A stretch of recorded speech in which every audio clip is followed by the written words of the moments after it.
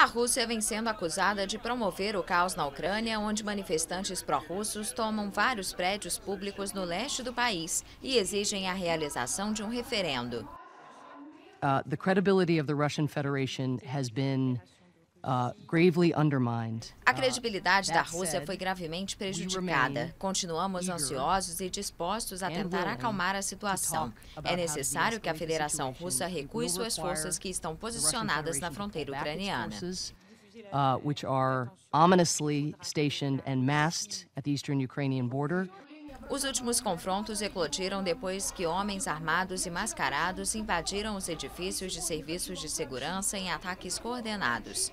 A movimentação é preocupante para Kiev e para os líderes ocidentais, pela semelhança com os acontecimentos que levaram recentemente à anexação da península da Crimeia. A Ucrânia enfrenta uma onda terrorista de grande escala orquestrada pela Federação Russa. Isso constitui uma ameaça não apenas à segurança dos ucranianos, mas à estabilidade e à paz mundial. O governo ucraniano prometeu anistiar os militantes que se entregarem até esta segunda-feira.